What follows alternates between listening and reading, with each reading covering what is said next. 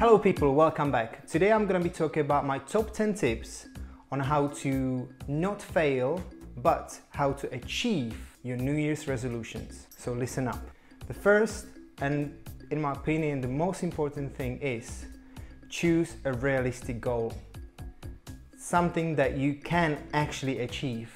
Because lots of people do this mistake that they see something somewhere, they want to become like someone else, and because the goal is not realistic, they fail. And that's where the pain comes in. So choose a realistic goal.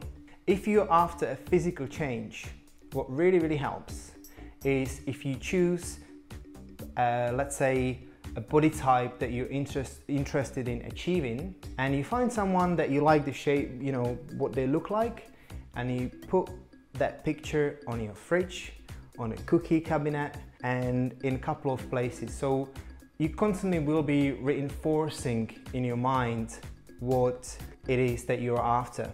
Remind yourself every day why you want to make this change. In order to succeed, you must be in a mindset which says, I have to make it, not I should make it. If it's should, then you will never get there because this is not strong enough reason.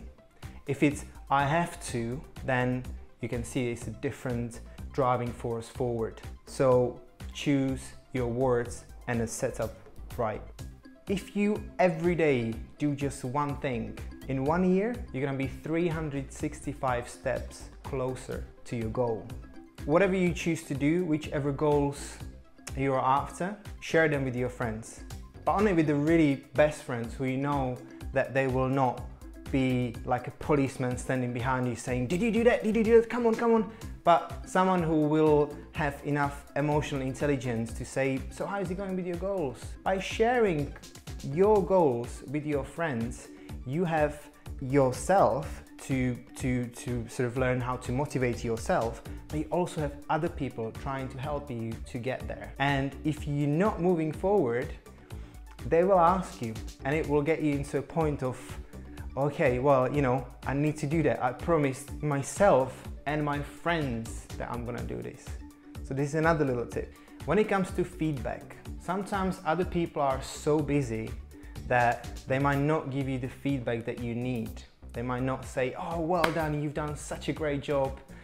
Now, that's why people hire other people to do that for them. But if you're waiting for a positive feedback from your uh, partner, uh, from your parents or whoever friends. They might just have too much on to actually be able to give you positive feedback and, and sort of appreciation on a daily basis. So therefore you need to learn how to say to yourself, today was a great day, I've done really, really well. Now this is not an, about an ego, but it's about, we all need that sometimes to say, hey, I've done well.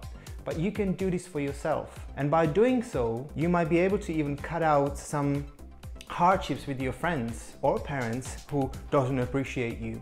So if you do this, things will get much, much easier.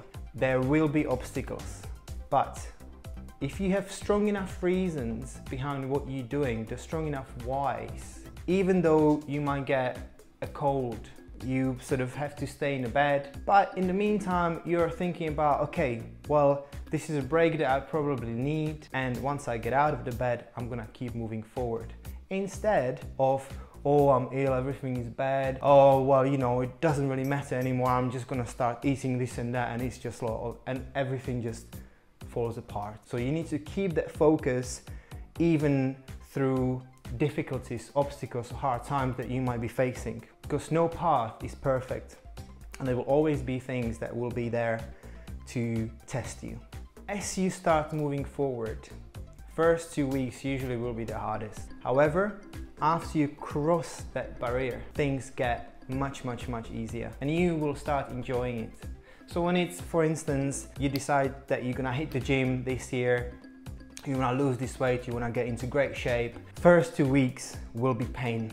And again, you have to have the driving force forward, strong enough reasons behind. If I do this, I'm gonna feel great. My body will look exactly how I want it to look. My friends will appreciate me more if that's your mindset. I will be living the life that I want to be living. I'm gonna be much happier These are just from top of my head things that can help you to give you the right enough reasons behind. Versus if you go, well, if I don't do this, I'm not gonna be healthy. I'm not gonna be appreciating myself. I'm not gonna be happy within my own body. And therefore, I'm be, gonna be creating a lifestyle that I'm not after. So this is again, you need to you need to remind yourself every time you go for that cookie jar and you just reaching for it, you remind yourself, oh hold on, I've got a picture of what I want to look like here, just right here. I'm not doing, I'm jeopardizing my uh, my goal right now. And if I do eat that one cookie, I am gonna move back, not forward. So to all of you, all the best in 2018. Strong health, focus, joy, happiness, anything that you wish for. And just remember that your life is your own creation. Anything that is basically within you will create what is outside. So focus on that, get clear about what you want, go and do it because I know you can. And I'll see you next time.